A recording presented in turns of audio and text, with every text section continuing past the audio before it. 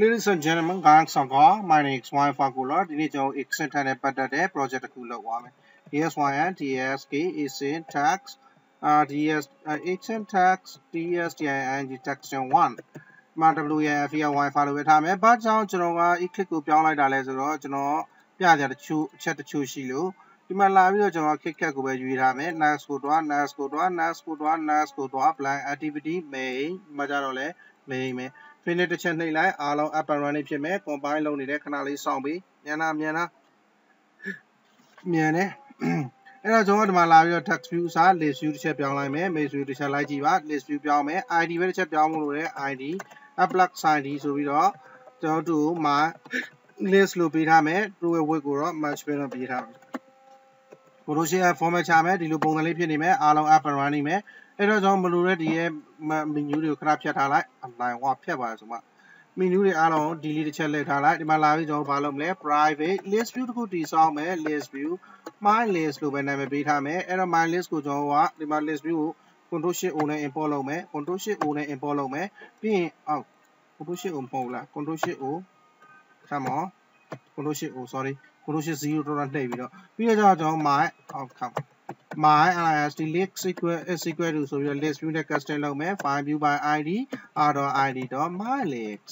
there we go အဲ့တော့ control shift f နဲ့ format ချမယ်အားလုံးကိုကျွန်တော်ဒီမှာလာပြီး delete ပြန်လုပ်မယ် control c s ဆိုပြီးတော့ c ရောတစ်ချက်နှိပ်လိုက်ရင် my list ကလည်း okay သွားလိမ့်မယ်အဲ့တော့ကျွန်တော် list view တစ်ခုလုပ်ဖို့အတွက်ဒီမှာ string array ရှိတယ် string array ကိုကျွန်တော် control c နဲ့ copy ကူးလိုက်မယ် ပြီးတော့ကျွန်တော် string array ကိုဒီမှာလာထည့်ထားလိုက်မယ်အဲ့ဒီ string array ထဲမှာ string element တွေပါတယ်28ခုလားမသိဘူးအဲ့ဒါကိုကျွန်တော်ကလာပြီးတော့ my list list.lct set adapd က add data ဆိုပြီးတော့ new ariy array adapd က add data to string data type array ကို adapt လုပ်ခိုင်းမယ်ဒါပေမဲ့ parameter ကျွန်တော်သုံးခုထည့်ရမယ်ဒီကြောင့်နားမလည်ရှိမှတော့ပြန်လေ့လာပါကျွန်တော်ပြင်ဆင်ဖို့အချိန်မရှိဘူး control shift o နဲ့ import လုပ်ပေးထားအောင်အမှမှာကျွန်တော်တို့က main.dix မှာကျွန်တော်ဟို ပေါ်ပြမယ် links ပြီးတော့သူ့ကိုကျွန်တော်က android.r.layout.simple link sim ble simple link sign one style နဲ့ပေါ်ပြမှာပေါ်ပြမဲ့တန်ဖိုးကိုကျွန်တော်ဥပမာလောလောဆယ်အနေနဲ့ my list လို့ထားလိုက်မယ်ပြီးရင် control shift f နဲ့ format ချမယ် control s နဲ့စေမယ်အားလုံး okay ဝါးအမားဘာကြောင့်ပြနေလဲ align ဝါဘာကြောင့်အမားပြနော်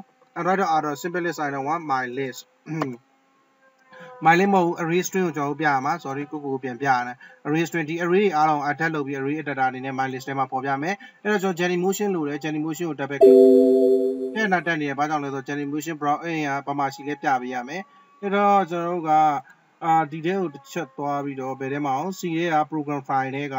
Jenny movie တဲ့ကမှာ Jenny motion ကိုတစ်ချက်ညွှန်ပေးထားလိုက် okay တစ်ချက်နှိပ်မယ်ဒီမှာလဲ apply okay တစ်ချက်နှိပ်မယ်ပြီးရင်တို့ကျွန်တော်တစ်ချက်ဖွင့်ကြည့်လိုက်မယ်သူတကယ်မိနေရလား မိနေတယ် online offline ဖြစ်တယ်ဒီ online နဲ့ကောင် run ပေးလိုက်မယ်အာတို့ကျွန်တော် double click အာ okay တစ်ချက်နှိပ်ပြီးတော့ big and run တစ်ချက်နှိပ်မယ် okay မနှိပ်နဲ့တော့ android application okay တစ်ချက်နှိပ်တို့ကျွန်တော်တို့မေးလိုက်မယ်ဘယ် emulator မှာ run မှာလဲလို့အဲအဲ့တော့ကျွန်တော် Jenny motion မှာ run မယ်ဆိုပြီး next ကိုနှိပ်လိုက်အဲဒါဆို Jenny motion ကိုခဏစောင့်ကြည့်လိုက် there we go ချက်ချင်းပဲအားလုံးအဆင်ပြေလာတွေ့ရတယ် အာဒါပေမဲ့ကျွန်တော်အဆင်ပြေခြင်းတဲ့ပုံစံဒီပုံစံမဟုတ်ဘူး။ဘာလဲကျွန်တော်ကဒီ list တွေကိုစာမားကနေ download လုပ်တယ်ဆိုကြပါစို့။ဒါဆိုဘယ်လိုအလုပ်လုပ်မလဲသိချင်တာ။ဒီတော့ကြောင့်ကျွန်တော်အပြောင်းလဲနည်းနည်းလုပ်မယ်ပါလဲမေးသူတို့မတင်ပေးဘူး။ ARIY array list list array list တခု string data type နဲ့ array list တခုကို update လုပ်မယ်လို့ကျွန်တော်ညွှန်ပေးလိုက်မယ်။ control shift f နဲ့ format ချရင်အောက်ကိုကျလာမယ် array list ကို control shift o နဲ့ import လုပ်ပေးတာ။အဲ့တော့ဘာလဲဒီမှာရှိတဲ့ array list ကိုကျွန်တော်ခဏကြာရင် update လုပ်မယ်။ဘယ်ကနေလဲ background thread ကနေ။အဲ့တော့ကြောင့်ကျွန်တော်ဘာသုံးရမလဲကိုပိုင် class တစ်ခုတည်ဆောက်မယ် class နာမည်ကို my tsk tags လို့ပေးလိုက်မယ် extend က extend လုပ်ထားမယ်ဘာလို့လဲကျွန်တော်တို့က asyn tsk syntax ကို extend လုပ်ထားလိုက်မယ်ခု extend ကို extend လုပ်ကြရင်ကျွန်တော်တို့ parameter ၃ခုပေးတယ်ပထမ parameter က parent progress rucksack အဲ့တော့ပထမ parameter ကဘယ်အတွက်တည်းလဲ new my tsk tag ဆိုပြီးတော့သူ instantiate လုပ်တဲ့အခါကျရင် execute execute ဆိုပြီးတော့နောက်ပိုင်းကျွန်တော်က parent တွေလှမ်းပို့မယ်ဒီ parent ကိုဒီကိုလှမ်းပို့လိုက်မယ်နောက်ပိုင်းကျွန်တော် URL download လုပ်မဲ့ဟာတွေပါပို့မယ်ပေါ့လောဆယ်တော့ကျွန်တော်ဘာမှမထည့်သေးဘူးဘာမှမထည့်သေးတဲ့ကြောင့်ဘလာပဲထားမှကျွန်တော် string တစ်ခုဖမ်းမယ်လို့ပြောတာအဲ့ဒါမဖမ်းလဲပြန်တာမရှိဘူး override method တစ်ခုထည့်မယ်ကျွန်တော်က implement method တစ်ခုထည့်မယ်ဘာကြောင့် implement method တစ်ခုပဲရှိရလဲမိတ်ဆွေတို့ကျွန်တော်ပြောရွာကြီးတကယ်တော့ implement method ကတစ်ခုပဲရှိလိမ့်မယ်ဘာဒီ implement method ကတကယ်ဆိုရင် override method ကအများကြီးရှိမယ် implement method ကိုလုပ်တော့အလုပ်လုပ်တော့ကြတော့တစ်ခုပဲတွေ့ရတယ်ဘာကြောင့်လဲ doing background တစ်ခုရတာလေကျွန်တော်တို့ရဲ့ဟိုဥသာမှာ background background thread အဖြစ် run မှာအဲ့တော့ result မဟုတ်ဘူးသူ string လို့ပေးထားလိုက်မယ် string ကို return ပေးလိုက်မယ် string ကို return ပေးမယ်သူ string ကိုကျွန်တော်က blah blah ပေါ့လောလောဆယ် pp လို့ return ပေးထားလိုက် string string ကို return ပြီးတော့ပြန်လာရှာနေတယ်ဘာကြောင့်လဲဒီမှာ string ဒီမှာ string protected oh sorry result ကကျွန်တော် string ပေးမယ်ဆိုရင်ဒီမှာ result value ဒီမှာ string ပြောင်းရမယ် string string ဟုတ်ပြီနော်ဒါ result အတွက်အပေါ်ကကောင်ကျွန်တော် parent အတွက်အဲ့ parent ဒီကိုရောက်မယ်အဲ့ parent string ကဒီကိုရောက်လိမ့်မယ် okay good ရပြီအဲ့တော့ကျွန်တော် return ကိုလောလောဆယ်နားပဲထားထားလိုက်ဘာမှပြန်တာမရှိဘူး control shift f နဲ့ format ချတာ progress ကိုကျွန်တော်ဘာထားမလဲလောလောဆယ် integer ထားထားလိုက်မယ်အဲ့တော့ခဏကြာရင်ကျွန်တော်ပြောင်းစရာရှင်းပြောင်းလိုက်မယ် integer လို့ခဏထားထားဟုတ်ပြီနော်အဲ့တော့ progress ကလောလောဆယ်အသုံးမပြုရသေးဘူးဒါပေမဲ့မပူပါနဲ့အသုံးမပြုရသေးလို့ပြောင်းလို့မိတ်ဆွေတို့ကြောင်းနေရဆိုရင်လည်းကျွန်တော်တို့ progress ကို void ခဏထားထားလိုက်ဘာမှမပေးဘူးနော် အဲ့တော့ number 1ဘာလုပ်မလဲဆိုတော့ဒီ background တော့မှာကျွန်တော်တို့က head list view ကိုဝင်တင်မယ်ဝင်တင်မယ်ဆိုတော့လွယ်လွယ်လေးပါပဲ background ကိုဝင်တင်မယ်ဆိုတော့အဲ့ list view ကို for in i or for in i x equal to 0 i က less than ဆိုပြီးတော့ ary sorry ary strg string dot length ဆိုပြီးချက်ပေးထားလိုက်ပြီးရင် i plus plus ဆိုပြီးတော့ looping around လုပ်လိုက်ရလာ looping around လုပ်လို့တစ်ခေါက် looping around come on တစ်ခါ looping around လုပ်တဲ့အခါကျရင်ရလာတဲ့တန်ဖိုးအလုံးကိုဘယ်ကိုတော့ထားမလဲအဲဒီ array list ထဲကိုထားထားမယ်အဲဒီ array list ကိုဘယ်သူက adapt လုပ်ထားလဲ adapter array adapter adapt လုပ်ထားတယ်အဲ့တော့ကျွန်တော်တို့ဒီမှာလာပြီးတော့ method တစ်ချို့ရှိမယ်ဘာ method လဲ on pro on post execute on pre execute sorry on pre execute ကဘယ်အချိန်မှာအလုပ်လုပ်လဲကျွန်တော်တို့ရဲ့ asyntax ဆက်ဆက်အလုပ်လုပ်တာ ਨੇ background thread အလုပ်မလုပ်ခင်အလုပ်လုပ်တယ်အဲ့အချိန်မှာကျွန်တော်တို့ဘာလုပ်ပေးမလဲသူကိုအာတန်ဖိုးတစ်ခုခေါ်ပေးမယ်အဲ့တန်ဖိုးကဘာတန်ဖိုးလဲ ariy array adapter adapter string data နဲ့တန်ဖိုးတစ်ခုတို့ကျွန်တော် adapter လို့နာမည်ပေးလိုက်မယ် home ကို private private class string မှာပဲသုံးမယ်လို့ပြောထားမယ်အဲ့ဒီ adapter မှာကျွန်တော် adapter က adapter ada pt ရ adapter pt error adapter x equal to ဆိုပြီးတော့ဘေးကနေလိုက်ယူမှာလဲဟဲ့ဒီ my list ထဲမှာရှိရဒီ array data ကိုကျွန်တော်လိုက်ယူမယ်အဲ့တော့ my list list of get ဆိုပြီးတော့ adpt ရအောက် adpt ရ add data ကိုလိုက်ယူလိုက်မယ်ဒါပေမဲ့ကျွန်တော် custom လုပ်ပေးရမယ်ဘာလဲသူ့ကိုအာ align 1 control shift ကိုကျွန်တော်မှားနေလို့ အာဒီမှာလာပြီး mouse တစ်ချက်ထောက်လိုက်ပြီးရင် access to array adapter string ဆိုပြီးတော့ array adapter ဖြစ် custom လုပ်ပြီးမှအဲ့ဒီ adapter နဲ့ညှိမယ်အဲ့တော့ကျတော့ဒီ adapter ကိုကျွန်တော်က update လုပ်မယ်ဘယ်အချိန်ဒီမှာလဲဒီမှာတစ်ခေါက်အလုပ်လုပ်တိုင်း update လုပ်မယ်ဒါပေမဲ့ဒီလိုလည်း update မလုပ်ဘူးဘာကြောင့်လဲ background thread ကဒီကောင်ဖြစ်နေတယ် update လုပ်ရင်ကျွန်တော်က my list view ကို update လုပ်လို့မရဘူးဒီအတွက်ကြောင့် update လုပ်မှတ်တဲ့ရှိလားရှိပါတယ်ကျွန်တော်က on progis progress update on progress update မှာကျွန်တော်အလုပ်လုပ်မယ် on progress update ကိုဘယ်ကနေခေါ်မှာလဲ on publish progress ကနေခေါ်မှာ publish progress ဆိုပြီး pub li update publish pub lis publish progress ကနေခေါ်မှာ publish progress မှာကျွန်တော်ဘာပေးလိုက်မလဲ looping လုပ်လို့ရလာတဲ့ integer value ကိုပေးလိုက်မယ် integer value ဆိုတော့ကျွန်တော်က integer value မပေးမဲ့ string value ပေးမယ်အဲကြောင့်ကျွန်တော်အပေါ်က void ထားတဲ့နေရာမှာ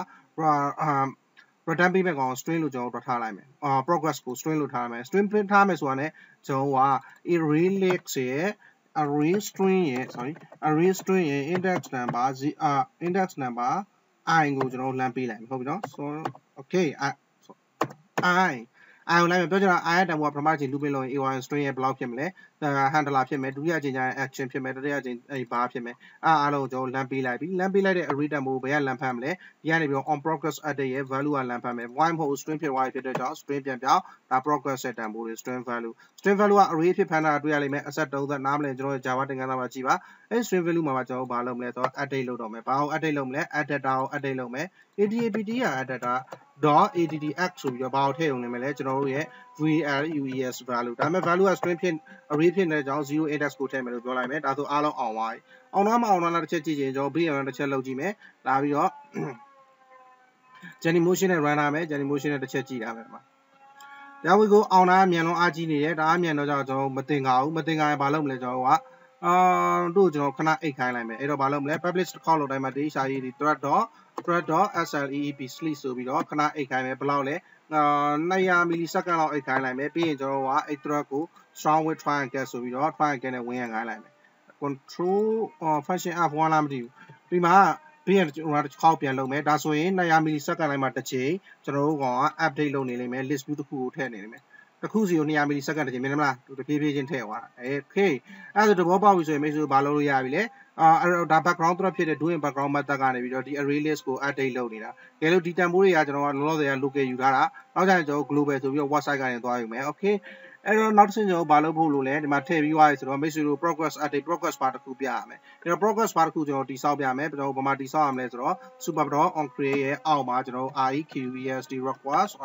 window feature ဆိုပြီးတော့ wind window.feature feature progress feature progress ဆိုပြီး progress bar လမ်းထည့်လိုက်တာအဲ့ progress bar ကကျွန်တော်အလိုလျောက် Android operating system ထည့်ပြီးမှဘယ်ရလာလဲဆိုတော့ Windows Manager ကနေလာတယ် Windows Manager လာတာကိုကျွန်တော်နည်းနည်းတော့ရှင်းပြ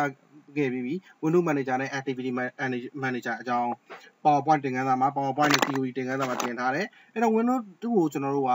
အာဒီမှာလောလောဆယ်က progress bar မဖော်ပြဘူးဒီ visibility fault ဖြစ်နေ true လုပ်ပေးရမယ်ဘာမှလဲစပြီးတော့ကျွန်တော် doing background method အလုံးမလုပ်ခင်လုံးလုပ်တယ် on pre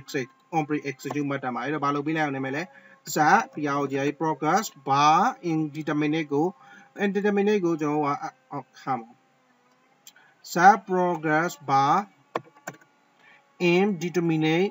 ကို FANC for ထားလိုက်မယ်အာပြီးရင်သူ့ကိုကျွန်တော်က set PROGI progress bar ရဲ့ visibility ကိုကျွန်တော်တို့က true ထားလိုက်မယ် visible လုပ်လိုက်မယ်ဘယ်အချိန်ဒီမှာလဲစပြီးတော့ background သူကအလုံးမလုပ်ခင်မှာစပြီး async tag ကိုစခေါ်တဲ့အချိန်မှာပေါ့ဘယ် async tag ကိုစခေါ်မယ် background သူကအလုံးမလုပ်ခင်ကြားမှာ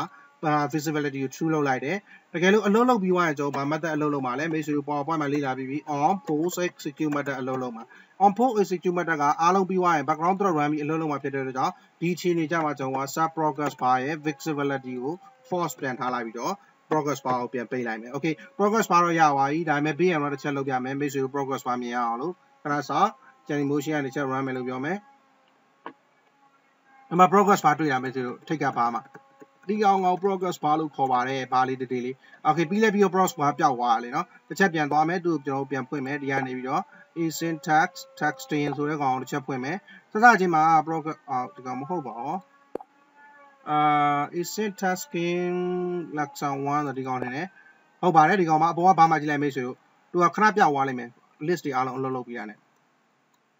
အာခေပြောက်သွားမြင်တယ်မလားမဆိုအပေါ်ကဘာလေးအဲ့တော့အဲ့အပေါ်ကဘာလေးကိုမြင်မြင်မယ်လို့ထင်တယ်အာအဲ့အပေါ်ကဘာလေးကိုကျွန်တော်က update လုပ်ပြီးတော့အလုပ်လုပ်ခိုင်းမယ် sub broker လုပ်မယ် sub broker ကဘာမှလုပ်မလဲ publish broker တစ်ချိန်လုပ်တိုင်းမှာ progress bar လေးကိုတစ်ဆင့်တိုးသွားမယ်အဲ့တော့ကျွန်တော်တို့ပြန်လာရှိရယ်ဘာပြန်လာရှိလဲအဲ့ progress bar ကဘာနဲ့အလုပ်လုပ်လဲဆို1000 millisecond အော်1000တန်ဖိုးရှိတယ် integer data type 1000တန်ဖိုးရှိတယ်ကျွန်တော်ကအဲ့1000တန်ဖိုးကိုဆိုပမာဏခွာမှာ list တစ်ခုကိုဝင်တင်ပြီးတိုင်း handler ဆိုတဲ့မဆိုကြပါဘူးဒီ array element တွေက list တစ်ခုကိုကျွန်တော် publish လုပ်လိုက်တိုင်းမှာပေါ့ publish လုပ်လိုက်တယ်ဆိုတော့ဒီမှာလာ publish progress လေနော် string array ကို publish လုပ်ထားတာလုပ်လိုက်တိုင်းမှာကျွန်တော်တို့ကဒီမှာ28ခုရှိတယ်ဗျာ28ခုရဲ့1000 28ခုကို1000နဲ့စားပြီး1000နဲ့စားရင်ဘယ်လောက် percentage ပြီးသွားပြီလဲဆိုတော့ကျွန်တော်တို့ပြရမယ်အာကျွန်တော်ဒီ map ကိုတိတ်မကြွအောင်ဒါပေမဲ့ကျွန်တော်တခုပြောပြရမယ်မိတ်ဆွေတို့လွယ်တဲ့နည်းတခုအဲ့တော့ကျွန်တော်ဘာလုပ်မလဲဆိုတော့ဘယ်နှခုပြီးသွားပြီလဲကို tracking လိုက်ဖို့လိုတယ်ဒီမှာ publish ဘယ်နှကြိမ်လုပ်ပြီးသွားပြီလဲအာဒီ string array link နဲ့ string array တွေက ဘယ် index ကိုရောက်နေပြီလဲဆိုတော့ကျွန်တော် tracking လိုက်ဖို့လိုတယ်အဲ့ဒီကြောင့်တော့ကျွန်တော်ဘာလုပ်မလဲဆိုတော့အပေါ်ဆုံးမှာပဲ private my text ဆိုတဲ့ class ရဲ့အပေါ်ဆုံးမှာ private ဟော come on counter x equal to 0လို့ထားထားမယ်တစ်ခေါက် publish လုပ်တိုင်းမှာကျွန်တော်တို့ဘယ်သူ့ကိုခေါ်မလဲ publish တစ်ခေါက်လုပ်တိုင်းမှာ on progress update ကိုခေါ်လိုက်မယ်အမှလာပြီးတော့ကျွန်တော်က counter plus plus ဆိုပြီးတော့အာအော်အဲဘာလုပ်မလဲကောင်တာရဲ့တန်ဖိုးတက်ထားမယ်အဲ့တော့ပထမတစ်ချိန်ကျွန်တော်တို့ publish လုပ်ရင်ဒီကောင်ရဲ့တန်ဖိုးက1နဲ့ပေါင်းတော့ 0တန်ဖိုးကောင်တာတန်ဖိုး0ကို1နဲ့ပေါင်းပြီးရလာတဲ့တန်ဖိုးကဒီမှာကောင်တာတန်ဖိုးက1ဖြစ်မယ်ဒုတိယအချိန်ကျရင်1တန်ဖိုးကို1နဲ့ပေါင်း2ဖြစ်မယ်စဖြစ်ဖြစ်နေလိမ့်မယ်ပေါ့နော်အဲ့ဒါအောင်မှကျွန်တော်တို့မလုပ်မလဲဆိုတော့ဒီကောင်တာတန်ဖိုးကို1နှစ်345ရှောင်းနေမယ်အဲ့1နှစ်345ကနေ28အထိပေါ့ဒီအားလုံးကုန်တဲ့အထိသွားမယ်ဆို28အထိအဲ့တန်ဖိုးကိုကျွန်တော်တို့တစ်ချက်ကြည့်လိုက်မယ်အဲ့ကောင်တာတန်ဖိုးက28ဖြစ်ခဲ့တော့5ချိန်မြောက်ရောက်ပြီဆိုရင်9ကိုပေါ့ ဘာနဲ့စားလိုက်မလဲကျွန်တော်တို့ဟဲ့ဒီ array string ရဲ့ length နဲ့စားမယ် array string ရဲ့ length ကဥပမာ28ဆိုကြပါစို့28နဲ့စားမယ်ရလာတဲ့တန်ဖိုးကကျွန်တော်တို့ double data type နဲ့ရလိမ့်မယ်အဲ့တော့ကျွန်တော်တစ်ချက်ပြပေးကြည့်မယ်ရမယ်လို့ထင်တယ်ဒီမှာလာပြီးတော့ calculator ချက်သွားမယ် CL အောက်ခါပါ CL line 1 what အာ calculator ကိုတစ်ချက်ဖွင့်မယ် calculator မှာကျွန်တော်အခုပြရမယ်အာဘာကိုပြမှာလဲဆိုတော့ကျွန်တော် counter တန်ဖိုးကတက်လာပြီပေါ့ဗျာ9လောက်တက်လာပြီဆိုဒီ calculator ကြာတော့ဘာ calculator လဲ you cancel to use sign in online ဟော calendar ကိုတုံးဖို့အတွက် sign in လောက်လုပ်ဖို့လိုသေးတယ်ဆိုပဲလားအာယုံဘယ်လောက်နောက်ထားလဲအဲ့တော့ calculator အသေးလေးပဲကျွန်တော်တော့ဖွင့်မယ်အာထူးဆန်းနေမဖွင့်တော့ဘူး CAL CULT ကို calculator အာဒါလည်းထူးဆန်းပါပဲအဲ့တော့ကျွန်တော်ဘာလုပ်မလဲဆိုတော့9ချိန်မြောက်ရောက်သွားပြီအဲ့ဒါကိုစားမယ်ဘာနဲ့လဲ array ရဲ့ length ဖြစ်တဲ့28နဲ့စားမယ်ရလာတဲ့တန်ဖိုးကဘယ်လောက်ဖြစ်မလဲဒီလို double data type နဲ့ဒီ index number တိုင်းရလာလိမ့်မယ်အဲ့ကောင်မှကျွန်တော်တို့မြှောက်မယ်ဘာနဲ့မြှောက်မလဲဆိုတော့ 1000နဲ့မြှောက်လိုက်မယ်ခု10ရာ1000အဲ့ဒါဆိုရင်9ချိန်မြောက်တော့လို့ဒီမှာ188တက်တမဆိုပြီးတော့ progress bar 188ကျော်မှရောက်နေလိမ့်မယ် okay အဲ့ဒါကိုကျွန်တော်သွားလုပ်ပါလေเนาะအဲ့တော့ဒီကနေဒီလိုစားရရတဲ့တန်ဖိုးကဓမ္မကိန်းထွက်လာလိမ့်မယ်အမ bla bla bla ပေါ့တော်တော်တော်အဲ့တိုင်းထွက်လာလိမ့်မယ်အဲ့ကောင်မှကျွန်တော်ရလာတဲ့ bla bla bla တော်တော်တော်ကိုအဲ့ကောင်ကို မှာပြောင်းမယ်ဗာနဲ့လဲ1000နဲ့ပြောင်းရင်ကျွန်တော်တို့လိုချင်တဲ့ progress bar update ရလိမ့်မယ်။ဘာကြောင့်လဲ progress bar 1000အမြဲရှိမှမို့လို့ Windows ရဲ့ default progress bar ကိုပေါ်တုံးတာလေနော်။အဲ့တော့ကျွန်တော်ဘာလုပ်မလဲအဲ့ counter ကိုစားမယ်ဆိုတော့ serial D က counter divide by ဘာနဲ့စားမှာလဲ string array ရဲ့ array string ရဲ့ len နဲ့စားမှာ array string dot len နဲ့စားမယ် come on okay အဲ့ရလာတဲ့တန်ဖိုးကဘာဖြစ်နေမလဲ double ဖြစ်နေတဲ့အကြောင်းကျွန်တော် casting ဘာနဲ့လုပ်ရမလဲ double နဲ့ casting လုပ်ရမယ် d o u b l e BLE double နဲ့ casting လုပ်မယ်ရလာတဲ့ double နဲ့ casting လုပ်လို့ရလာတဲ့တန်ဖိုးမှာဘာနဲ့မြှောက်မလဲကျွန်တော်တို့အဲ့လိုရလာတဲ့တန်ဖိုးမှာအမြောက်ဆိုပြီးတော့1000နဲ့မြောက်မယ်ဟုတ်ပြီနော်အဲ့1000နဲ့ရလာတဲ့တန်ဖိုးမှာကျွန်တော်တို့ကဒီလိုအုပ်ချလိုက်အောင်မယ်အုပ်ပြီးဘာနဲ့ဘာ casting လုပ်အောင်မလဲဆိုတော့ integer data type နဲ့ casting လုပ်မယ်ဘာကြောင့်လဲ progress bar ကျွန်တော်တို့က progress bar sub progress bar integer data type ပဲတုံးလို့အဲ့တော့ကျွန်တော်လာပြီးတော့ဒီမှာ sub progress ဆိုပြီးတော့ progress bar ရဲ့ အဲအလုပ်လုပ်ထားတဲ့ဘယ်နေရာထိရောက်ပြီလဲကို progress ကို setting ချပေးမယ်အဲ့ဒီဒီ progress နေရာမှာကျွန်တော်တို့ဆုံးက calculate လုပ်ထားတဲ့တန်ဖိုးကိုထည့်ပေးလိုက် okay အဲ့တော့ save ပြီးတော့ BM တစ်ချက်လုပ်ကြည့်မယ်ဘယ်လိုအခြေအနေရှိလဲကြည့်ကြည့်မယ် Jelly motion နဲ့ပဲ run မယ်လို့ပြောမယ်အာ progress bar က edit မလုပ်ဘူးဖြစ်နေတယ်အားလုံးတော့ okay နေတယ် progress bar edit မလုပ်တာတခုပဲအော် edit လုပ်တယ်တအားနည်းနေတာကြကျွန်တော်ဘာကြောင့်တအားနည်းနေလဲဆိုတော့ progress bar edit မိတ်ဆွေတွေ့လား edit လုပ်လိုက်တယ်ကျွန်တော်တခြားကြည့်လိုက် ဟိုအပေါ်တခြားအာရုံစိုက်ကြည့်တာတဝက်ကြော်ကြော်ရောက်သွားတွေ့လိမ့်မယ်အာအောက်ကိုဆွဲချလိုက်မှ edit နည်းနည်းလုပ်သွားတယ်အဲ့ဒီပြဿနာရှိနေတယ်အဲ့ဒီပြဿနာဘယ်ကလာရလဲဆိုတော့ကျွန်တော်တစ်ချက်စဉ်းစားရမယ် progress bar visibility visibility false publish တစ်ချက်လုပ်တိုင်းမှာကျွန်တော် counter plus plus counter divide by blah blah blah ဆိုပြီးတော့စားထားတယ်ဟုတ်ခဏရကြည့်မယ်ကျွန်တော်ဘာမှားလဲလို့ကြည့် okay ပြဿနာကတော်တော်ရှာလိုက်ရတဲ့အကြာကြီးပဲအဲ့တော့ပြဿနာကဘာဖြစ်နေလဲဆိုတော့ကျွန်တော် super dot on create မခေါ်ခင် progress ကိုခေါ်ရမယ်နော်အဲ့တော့ကျွန်တော်ဒီ progress bar ကို super dot on create မတိုင်ခင်ခေါ်ပြီးတော့မိတ်ဆွေတို့ပြန်ပြမယ်အခြားဘာမှပြောင်းလဲမရှိဘူးဆုံးအတိုင်းပဲ code တွေကကျွန်တော် journey motion နဲ့ check run ပြမယ် journey motion နဲ့ run ပြီးတော့ဒီမှာချက်ကြည့်ပြမယ်အာ progress bar ကိုခေါ်တယ်မတိုင်မီခေါ်တော့လဲ line 1မပေါ်ဘူးရောမပေါ်ဘူးဆိုတာကကျွန်တော်တို့ set progress time meter မှာလဲ okay နေပြီ progress bar ကိုလည်းဟိုဘောတော့မှခေါ်ပြီးသွားပြီအာ set progress integer data type counter အာ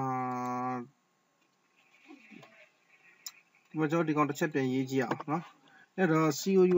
count က counter count က counter ကို divide by ဘာနဲ့စားမလဲဆိုတော့ ari string string dot len နဲ့စားမယ် okay ဒီအကောင်မှာကျွန်တော်တို့စိတ်ပြတ်သွားပြီဖြစ်တဲ့ကြောင့်ဒီကောင်ကကျွန်တော် quinta complete ထည့်လိုက်မယ် ပြီးရင်အဲ့ကောင်မှာကျွန်တော် double နဲ့လမ်းအုပ်မယ်ဟုတ်ပြီပြီးတော့အဲ့ double နဲ့အုပ်ထားတဲ့တန်ဖိုးမှာရလာတဲ့တန်ဖိုးကိုကျွန်တော်ဘာနဲ့ပြောင်းမလဲဆိုတော့1000နဲ့ multiply လုပ်မယ်ဟုတ်ပြီအဲ့ဒီလည်းမှန်နေပြီအဲ့ရလာတဲ့ကောင်မှာကျွန်တော်ကနောက်ထပ်ဝင်စားဝင်ပေးနဲ့ထပ်အုပ်အောင်မယ်ဘာကြောင့်လဲဆိုတော့ဒီအောင်မှာကျွန်တော်က type casting ကို integer နဲ့ဖမ်းမှာဖြစ်တဲ့အတွက်ကြောင့် integer နဲ့လာပြီးဖမ်းပေးလိုက်ခုဒီထိရပါတယ်ဒီထိရပြီဆိုလုံလောက်ပြီကျွန်တော် control ဒီတိုင်းကိုအောက်မှာ set PROGIS progress ကို အဲ့တန်ဖိုးလာထည့်ပြီးလိုက်မယ်ဘောအတွက်တဲ့တန်ဖိုးအဲ့တန်ဖိုးကိုကျွန်တော်ဒီမှာ control x နဲ့ဖြတ်ဒီကောင်မားလို့လည်းဖြစ်နိုင်တယ်မားရဆိုတော့ကျွန်တော်ရေးတာကွန်းစားကွန်ပျူတာမားလို့များလို့မားတာပြီးရင် run တစ်ချက်ပြန်လုပ်မယ် Jelly motion နဲ့ပဲ run မယ် okay ဒီကောင်မားလို့လားဆိုတော့လည်းမဟုတ်ဘူးဖြစ်နေတယ်ကျွန်တော် refresh ကိုမလုပ်နိုင်တာဖြစ်နေတယ်ကျွန်တော် application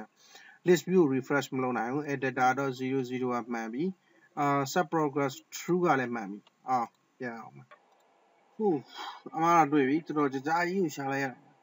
အဲဒါလည်းအခုကျွန်တော်တို့ကဒီမှာလာပြီးတော့ thread ကို sleep ထားတာနည်းနည်းများနေတယ်အကောင်ကျွန်တော်100လောက်ပဲ sleep မယ်ပြန် sleep ပြီးမိတ်ဆွေကိုဘာလုပ်ပြမလဲကျွန်တော်တို့ပြန်နာဘာမှရှိတော့ဒီ double နဲ့ custom ဖမ်းတဲ့အချိန်မှာပြန်နာရှိနေနော်ကျွန်တော်အကြာကြီးရှာတာ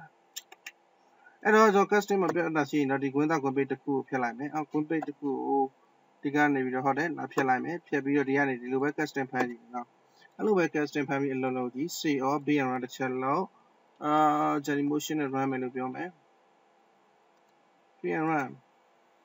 အာ run နေပြီတဲ့တစ်ချက်ကြည့်လိုက်ရင်အာမဟုတ်ပါဘူးကျွန်တော်တို့က jelly motion မှာဒီ app ကို install လုပ်ပြလိုက်မယ် okay ပြန်ပြီးပြန် run မယ်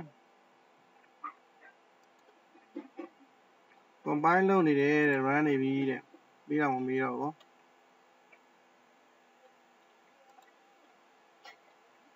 อืมချက်ချင်းကိုအလုံးလုံးနေပြန်ပြီအဲကျွန်တော် progress မှာ100လို့ပြောလိုက်တယ်ဒီကောင်ကိုလမ်းပေးထားတယ်1000နဲ့မမြောက်အောင်1000နဲ့မြောက်အောင်မယ် sorry ကျွန်တော်မှားခဲ့တာအဲ့ဒါတွေကဘာလို့1000နဲ့မြောက်အောင်လဲဆိုတော့ progress bar ရဲ့အလုံးလုံးပုံက1000လုံးလေနော်1000မဟုတ်ကြည့်လိုက်ဒီမှာအပေါ်မှာတွားနေပြီအဲ there we go အောင်သွားပြီ progress bar default value က1000မဟုတ်ဘူးဟို1000မဟုတ်ဘူး1000အခုကျွန်တော်ပြန်ဖွင့်ပြမယ် ဒီလိုက်အပေါ်မှာ progress bar အော်ညာလိုက်ဒီကောင်ပိတ်မှရမယ်ပိတ်လိုက်อืมပြီးတော့ပြန် run မယ်အစကနေ run အမှဒီ progress bar တွားလာပြည့်အာအစောကကျွန်တော်ကဘာလို့မှားနေလဲဆိုတော့ဒီမှာ1000 1000ဖြစ်တယ်1000ဖြစ်ရမှာဒီ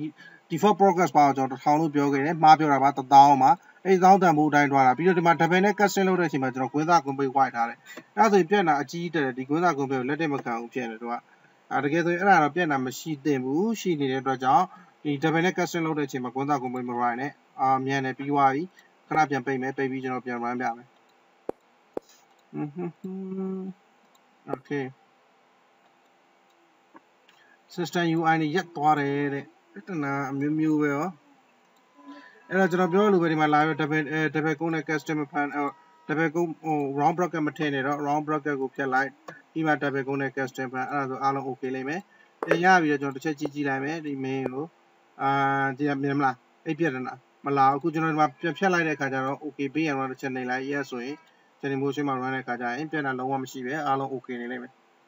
progress bar update လုပ်တယ်ကျေးဇူးများတင်ပါတယ် one for ကိုလာပါ coromania.com ပါ